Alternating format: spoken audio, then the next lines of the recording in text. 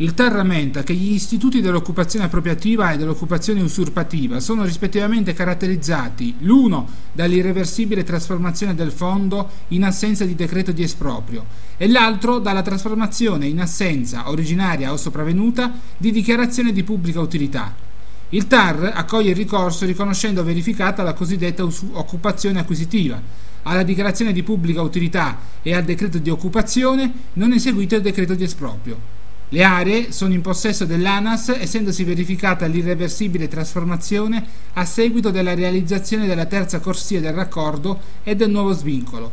In particolare, siffatta trasformazione del bene ha prodotto il trasferimento della proprietà del bene senza necessità di un ulteriore atto di acquisizione.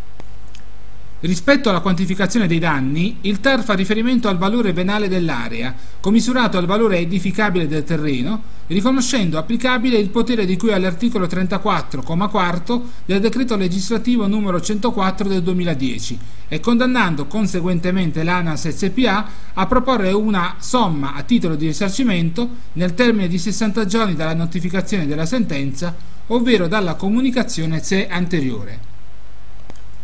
Trattandosi di risarcimento del danno e quindi di debito di valore, il TAR ha precisato che la somma deve essere rivalutata dalla data della scadenza del termine di occupazione legittima al momento della proposta ex articolo 34. Su tale somma devono essere poi calcolati i cosiddetti interessi compensativi, a decorrere dalla data di scadenza del termine di occupazione legittima e fino alla data della proposta ciò in funzione remunerativa e compensativa della mancata tempestiva disponibilità della somma dovuta a titolo di risarcimento del danno.